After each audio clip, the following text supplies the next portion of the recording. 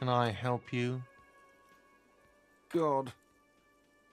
Oh, but he should be. Lay it on him. Life doesn't have a back button. Now get off your ass and speak the truth about Sylvie the whore. Wonderful. It is. It's wonderful. What? What does that mean? Cock carousel? Huh? Yeah, this feels right. It feels wise.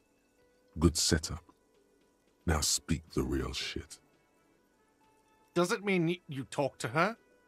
What else did she say about me? What else do you need?